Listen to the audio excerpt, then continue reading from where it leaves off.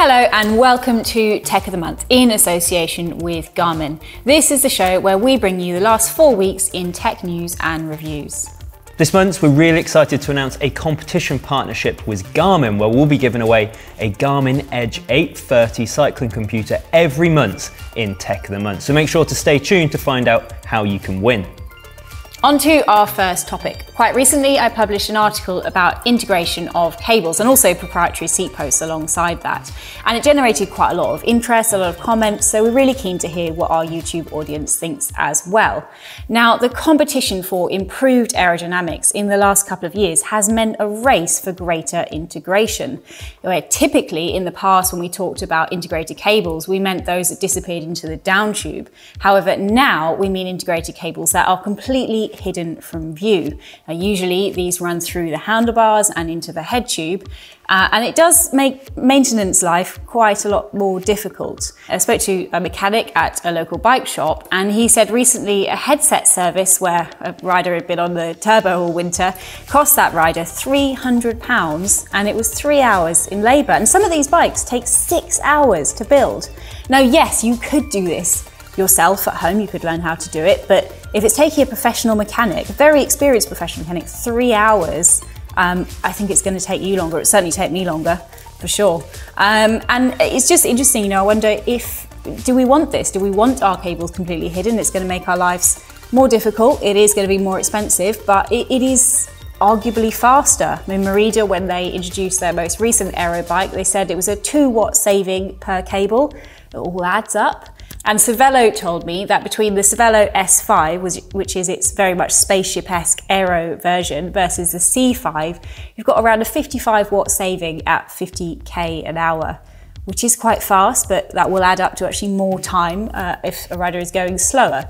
And of course, there is the fact that these parts cost more. So the Cervelo's V-stem costs £267, uh, and then the accompanying bars are £356, and the seat post we found for £140. So you have got a more expensive system, takes much longer to work on, it's more expensive to maintain, but it is potentially, well, it is faster.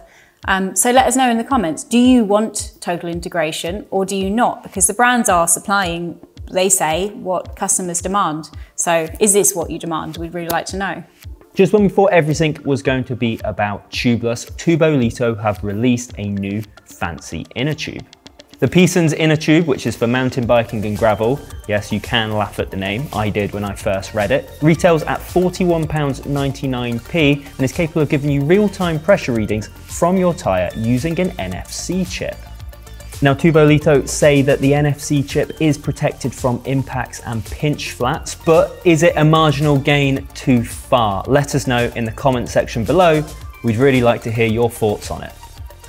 Now, not to be outdone, Pirelli has also moved into the super light inner tube market with its own smart tube that weighs 70% less than a standard butyl inner tube and costs £35. So to give you a hint at some of the content coming from the tech team in the coming weeks, we are currently testing four £1,000 bikes, and that is a really popular price point. We know that an awful lot of people are looking for a bike around that price. One of the key differences between these bikes has been the braking style. So one of them is rim brake and the other three are cable actuated discs, but they're all using different systems and specifically different brake pads actually is, is something that we've discussed quite a lot. Uh, we've done some brake tests outside and the results should be on the screen now. So we ran that with a rider getting up to 30k an hour, slamming on the brakes, and then we measured where they stopped from the center of the front axle. And I mean, I think the results make for pretty interesting reading. I mean, there are many other factors that make for a good bike, and we will discuss all of those in the full group test. But we thought you might like to see those results ahead of time. Entrepreneurial British engineers New Motion Lab have shown off a new radical sprocket design, which they say reduces wear, increases efficiency, and crucially, can be used with a standard roller chain. The design that they're calling the Enduo Evolve is a wider tooth profile and features half the number of teeth of a standard sprocket. Now, New Motion Labs say that most of the losses in a drivetrain are found within the pins and the rollers of the chain, and they say that their wider teeth profile will help facilitate better engagement and therefore increase efficiency. They plan to license out this technology rather than manufacture it themselves, and they say that they've already signed agreements to showcase this technology at the upcoming Tokyo Olympics on the track. So we can't wait to see it in use. Now, with more cyclists getting out on the road and the fact that it is summer, we've been ramping up our short reviews, and here are some of our highlights. The POC Aero VPD come in at £270. Now we found these to be comfortable shorts with a lovely supportive and compressive feel, as well as a chamois that provided comfort on long rides. But they weren't quite perfect. There was a bulky front portion of the chamois that was distracting during harder efforts and silicone grippers in the bib straps that didn't add much benefit. But they did make the shorts more of a faff to put on. These aren't fatal flaws, however, but at £270 and with there being so many cheaper shorts available, it's hard to recommend the POC Aero VPD shorts against the competition. These got 3.5 stars out of 5. Now the Lusso DRS shorts are more reasonably priced than the POCs coming in at £125 and they are comfortable, lightweight and well designed and well made. The textured fabric may or may not save you a few watts, but the very competitive price compared to the big branded shorts will definitely save you a few quid. These scored four and a half stars out of five. So next up, we had the women's Assos T La La La La S7 women's bib shorts. These aren't new in the range, they've been around for quite some time, but they do offer excellent comfort in the saddle. The leg grippers don't dig in and they make comfort breaks easy too with the central clasp. They're not cheap, but I would genuinely expect them to last at least twice as long as many more moderately priced pairs on the market based on previous experience with Assos. So these got a very rare 5 out of 5 for me. We also tested the Rapha Classic bib shorts and these come both in a men's and women's fit. I kind of thought that the women's model looked like it took its styling from Victorian bathing costumes, but performance wise they were great. The pad is really comfortable. They were a bit let down by the gripper. This has been redesigned for this iteration and it's very thick, a bit like a tyre with an awful lot of tread. However, with a bit of shuffling around, I got them to fit eventually. They just don't conform like a standard gripper. These got a 4 out of 5. Now, as promised, we are giving away a Garmin Edge 830 in this month's Tech of the Month. Worth £350, this is one of the flagship computers from the brand, featuring turn-by-turn -turn navigation and the ability to recalculate your course, a market-leading touchscreen, as well as performance metrics that can make you fitter and faster.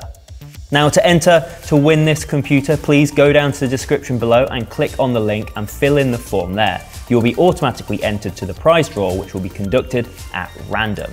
The competition will run for three weeks from the publication of this video, and if you are unfortunate enough to not win, don't worry, because we'll be doing it again next month. Good luck! So on to a look at some of the products that the tech team is testing at the moment. Now, first up, I have a very interesting pedal design from some guys called Pitbull Pedal. As you can see, you've got a 360 degree point of engagement. You can clip in anywhere on this pedal. So you just clip into the the, the metal, basically. Precisely. Well, yeah. So the cleat has a spring on it, and you place your foot on there, and it just clips in. It's like immediate. It kind of feels like a magnet hitting a magnet. You clip, you put your foot down, and it's engaged, and away you go. And just to disengage, you just twist your ankle out exactly like you would any other pedal. So these guys actually they launched a Kickstarter back in I believe 2017, and actually cancelled that Kickstarter, and now they're back. This is the KOM version, which means it weighs 92 grams, which is lighter than the standard model. Uh, and yeah, I mean, they certainly, they look interesting. They, they do stick quite far out from the bike. And I would, I would worry a little bit about turning up to road races or especially track races. I was going to put them on to go to track and I decided against it. Now, out of curiosity about how wide it is, I was trying to picture hmm, what would that be like with a normal pedal. So I actually have gone and fetched some pedals. This is a standard Look Keo pedal. And if I line it up so the spindle is in the same place, it's maybe a centimetre wider than the Look Keo pedal.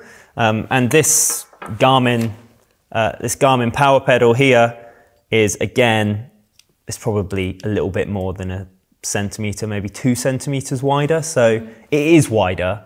Um, my suspicions were correct, but also it does have a design that kind of uh, exaggerates its widths a little bit, I would say. It is just looks that bit intimidating. It's a, it's the single metal bar and then it has a steel flange at this end and then you've got your contact point which uses an 8mm Allen key to fit.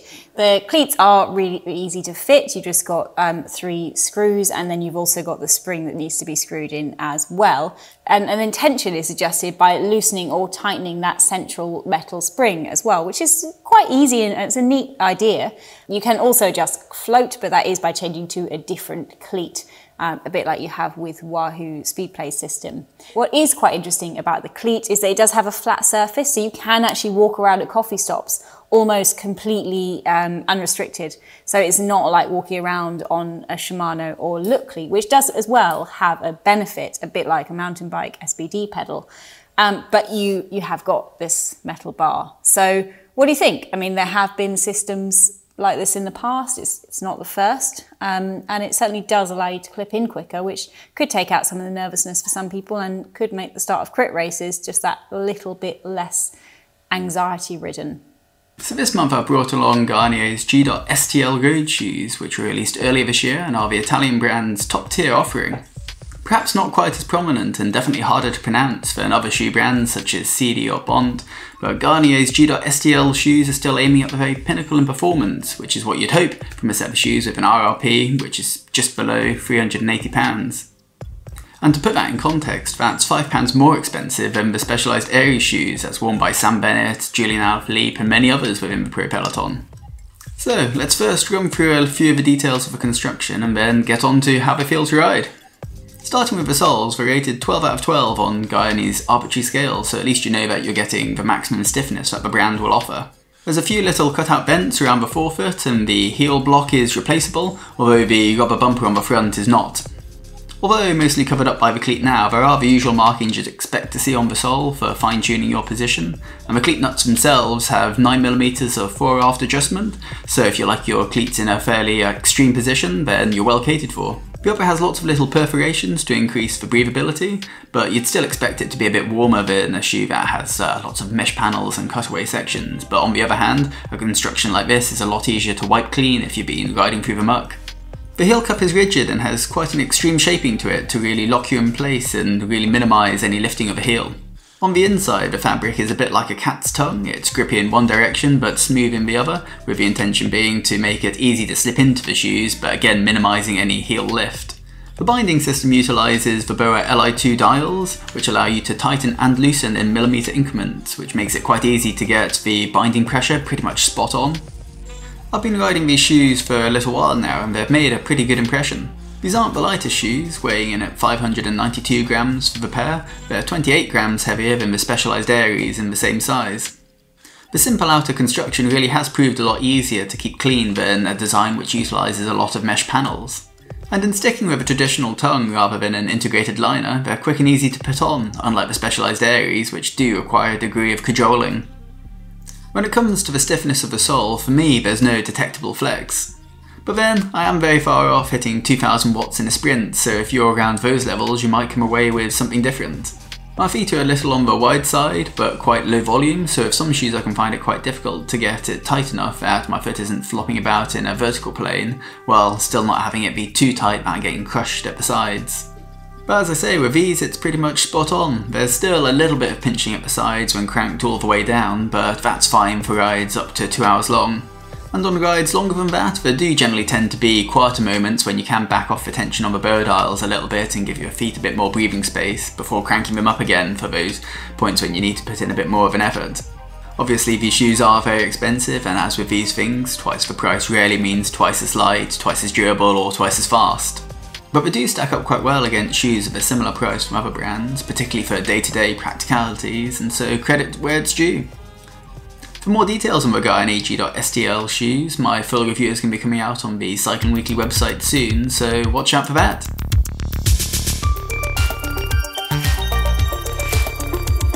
Bike of the month this month is this, the Tifosi Cavazzo Ekar, which is as the name suggests, running Campagnolo Ekar gravel group set. Now this is exciting for multiple reasons, not least because of the £3,000 price tag, which is really competitive for a gravel bike with this group set, but also because it's the first time Cycling Weekly has been able to test ride the Ekar group set. So we're really looking forward to getting to grips with this.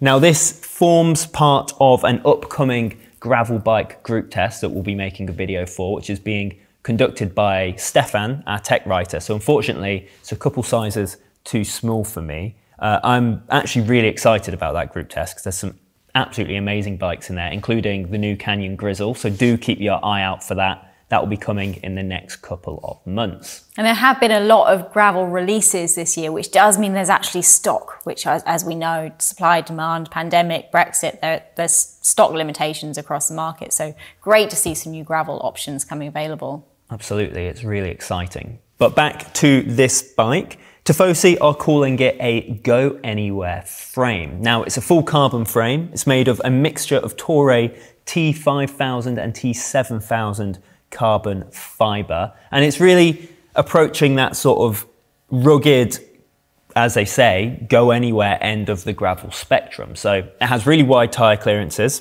This bike can accommodate 50 millimeter tyres as standard. That's 45 millimeter if you decide to run mud guards. And it can also run 650B wheels up to a 2.1 inch tyre. So it's on paper a pretty versatile bike. There is a total plethora of mounts on this bike. There are four different places you can mount bottle cages. There's one on the top tube, there's the standard two inside the triangle, and then there's the mud catcher on the downside of the down tube. I probably only use that if you're riding somewhere dry. But it also has mounts so you can run mud guards as well. And excitingly, it also has rack mounts. So if you didn't want to load up your bike bags instead you use racks or panniers, you can put them on here as well. And it can have, it can accommodate a 15 kilogram load on the front and a 25 kilogram load on the rear.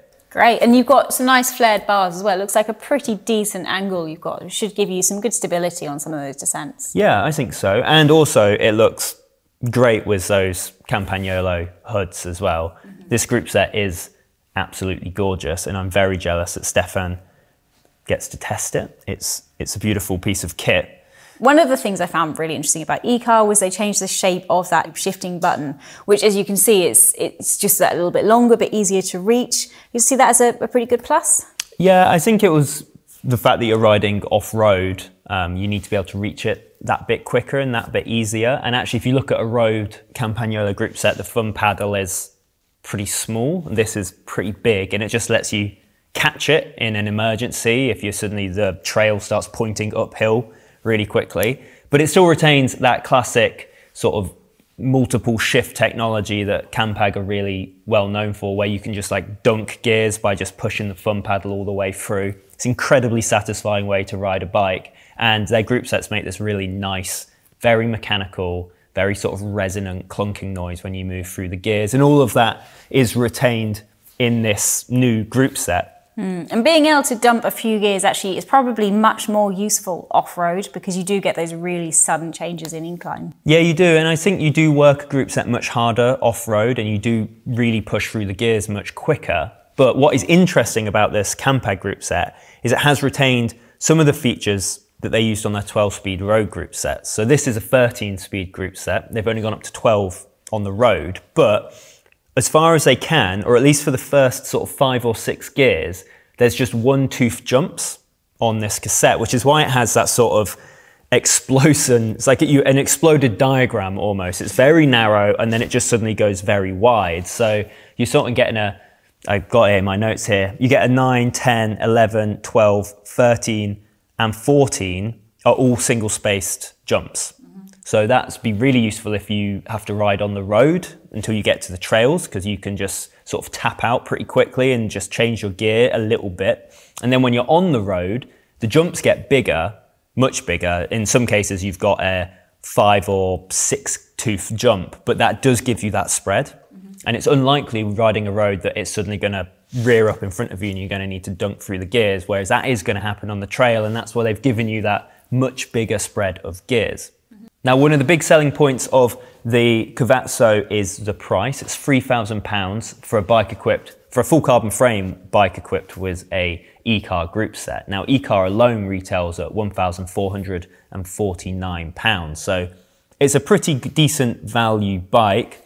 It's running these Meche wheels, which I've not tested, so I can't attest to you know how well they roll, but I can tell you that they're aluminium and they're tubeless ready, although they come set up as clincher on this bike. So again, to attest to the value of the bike, we'll really have to test it all and see how those wheels roll. But on paper, it's looking like a really smart value option. The Specialized Diverge, which Ekar launched on famously at the time of the launch, that cost £7,250. So it will be interesting to see the ride quality compared to the Diverge to see what type of value you're getting.